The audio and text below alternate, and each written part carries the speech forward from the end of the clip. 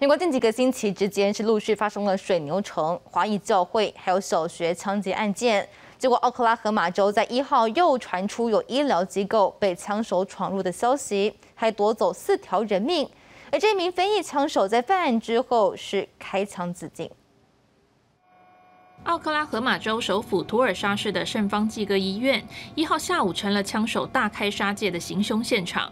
一名非裔年约三四十岁的男子，手持一把长步枪和一支手枪，在设有门诊手术中心和乳房保健中心的纳塔利医疗大楼二楼随机开枪杀人。警方获报之后，短短三分钟就抵达现场，在每一层每一个房间进行地毯式搜查，确保没有其他威胁。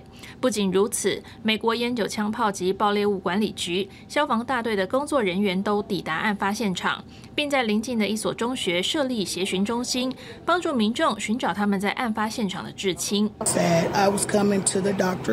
and I got my grandkids with me in this terrible scene. It's awful. It's 杜尔沙警察局副局长达雷西事后向媒体表示，枪手当场开枪自尽。至于犯案动机，还有待调查。The officers that did arrive uh, were hearing shots in the building, and that's what directed them to the second floor.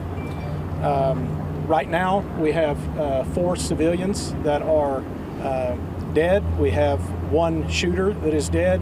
And uh, right now, we believe that is self inflicted. Officers have not been interviewed, but we're certain that's a self inflicted gunshot wound on his part.